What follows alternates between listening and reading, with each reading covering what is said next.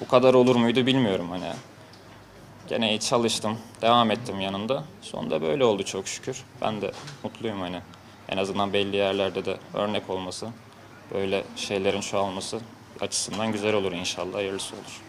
Hem e, kaleci olarak görev yaptın Trabzonspor'da hem de destek. Bir arada nasıl yürüdü, neler yaptın ekstra olarak? Ya önceliğim futbolda hep.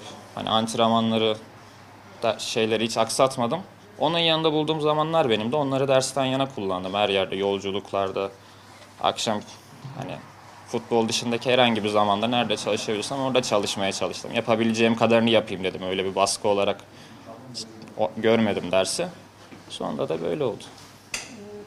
Yani sayısala liseye başlarken aslında böyle çok ileriyi düşünerek değil, fen lisesi daha hani girebileceğim en uygun yer oraydı. Öyle başladım. Sonradan okula da çok zaman olmadığı için okulla bağlı gitmek zorunda kalmadım. Eşit ağırlık daha rahat geldi. Çalışması da devamda daha rahattı. Oradan geçtim öyle.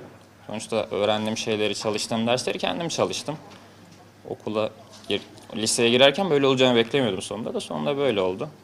Ve devam ettik. Olabilir. Hiç hatırlamıyorum o zaman ama maçlardan sonra yolculuklarda bayağı çalıştığım oldu. Genelde boş zaman oluyor. Hem maçların yorgunluğundan, stresinden sonra rahatlatıyordu aslında. Biraz uzaklaştırıyor. Boş zamanım aynı zamanda olabilir vallahi. Bir de e, görüyorsun neler söyleyeceksin?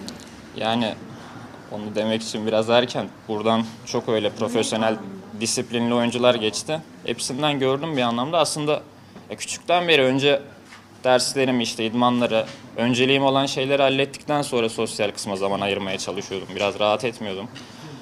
O yüzden olabilir. Ha, derslere öncelik verdim, idmanlara öncelik, çalışmaya öncelik verdim. Sonra kalan zamanı sosyal kısımlara tabii ayırdım oraya da. Yapım gereği bilmiyorum öyle daha rahat ediyorum. Takımda örnek anlamda. Takımda Hamşik cidden o yönde çok iyi bir örnek hani. Çok fazlası o örnek alacağımızdan. Diğer yönden Berat abi çok çalışkan, Uğurcan abi çok çalışkan. Hani çok sayarım burada cidden öyle çok iyi örnekler var karakteristik anlamda. Hepsini gördükçe de bir motivasyon oluyor. Ben de böyle yapayım diyorsun. Gördükçe devam edeceğim. Bilmiyorum, kamptan döndükten sonra bakacağız tercih döneminde yardım eden hocalar da var bu alanda. Eğitimciler de, okuldan öğretmenlerim de yardım ediyor. Okul bir yanda duracak. Mümkün olduğunca zaman ayırabildikçe devam edeceğim. Sonra ilerisi için sonra düşünüyorum. Şu anlık yani üniversitenin bir kenarda kazanılıp durması benim için daha iyi. Direkt net hani kesin karar verdim diyemem. Öncelik hukuk düşünüyorum, psikoloji bilmiyorum hangisi. İlgi alanlarıma göre diyorum bunları tabii. Okuması da bir yandan daha rahat olur benim için.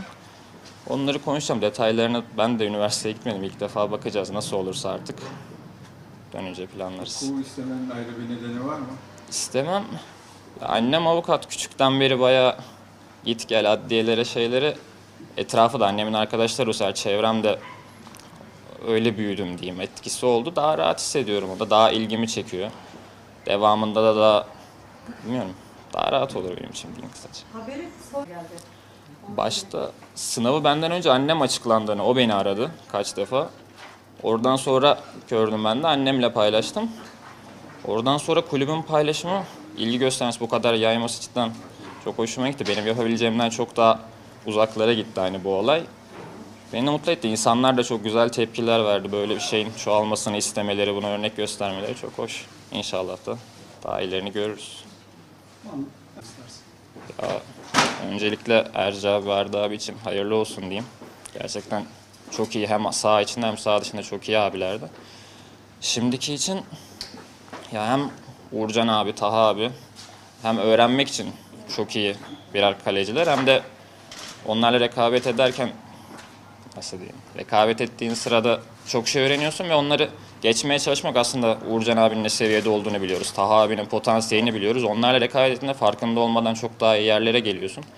Şu anlık daha yaşım genç belki hani futbola göre diyemeyiz Avrupa'ya şeye göre ama yaşım buradakilere göre genç. Öğrenip devam edeceğim. Zamanla değişiklik göreceğim. Tabii önce oynamak istiyorum. Burada olur. Belki tecrübe kazanıp tekrar burada oynamak. En nihayetinde alabileceğimiz en iyi hedef Trabzonspor. Sonrası için sonra konuşuyoruz şu an. Uzun için bir şeyler demeyeyim.